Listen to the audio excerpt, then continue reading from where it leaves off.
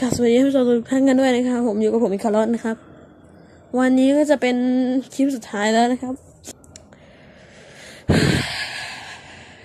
คลิปสุดท้ายของช่องนี้นะครับ ผม วันนี้เป็นวันที่ดีมากๆเลยเอฟฟูเดย์ยังไงล่ะ